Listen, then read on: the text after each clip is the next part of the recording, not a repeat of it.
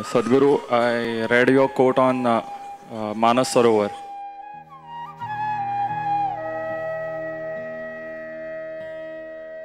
That we have known only like a billionth of what is life, and uh, different masters have uh, written different things in their books.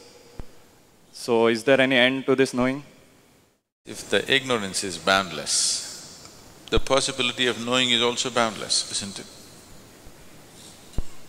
Hmm? You want to reach a conclusion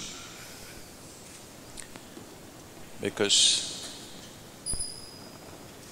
that is the way that right now mind is operating, that it has to reach a conclusion. No.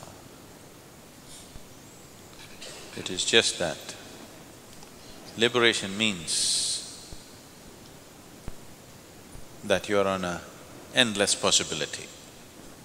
An endless possibility, a pessimistic expression of that would be that you fall into your bottomless pit or you soar into a topless sky. Which do you prefer? it's just the same thing.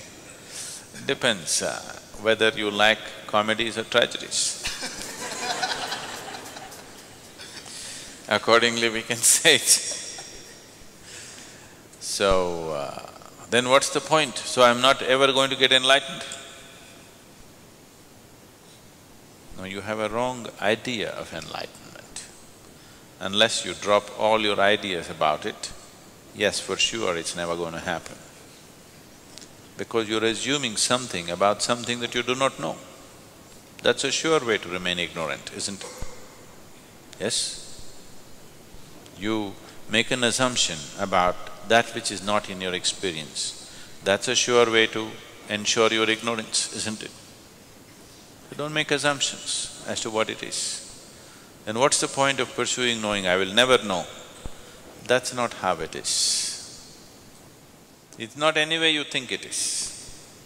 It is another way, in a way that you cannot think. It's only because of that it seems to be difficult. Why constant stress on devotion, devotion, devotion is simply because of that, because you can't think it out. You're never going to think it out. You just have to walk into it. And uh, a thinking person will not walk into anything because he's hesitation and hesitation and hesitation. So, uh, we're just cultivating you in such a way that there'll be no hesitation in you, you can just walk. It's easy to walk on familiar terrain. A completely new terrain, people cannot walk, isn't it? Enlightenment means you're constantly seeking new terrain where you don't know how to walk. You don't want to walk on terrain that you already know how to walk. You want to walk on a terrain that you do not know how to walk. That's adventure, isn't it? And that's spiritual process, and that's enlightenment.